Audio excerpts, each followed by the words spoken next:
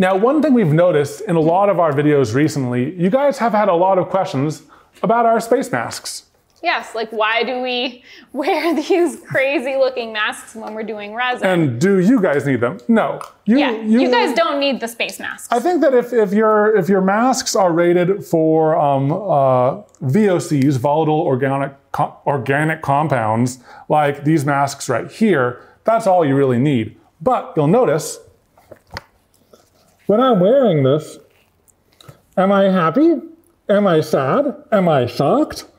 Can you hear him well? Can you hear me okay? Like, because we're making videos, we like these because we want oh, to show we, our. We like not these. Yeah, yeah, we like we like these.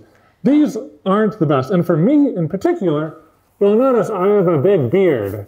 A big bushy beard. A big bushy beard, and this doesn't seal that great around beards. Yeah, so it's it's mostly just because, you know, these clear ones you can see our faces, which makes it, when you can like see someone's mouth moving, it's easier to understand what they're saying. Even though these, the audio is a little obscured too. Yeah. It's less obscured.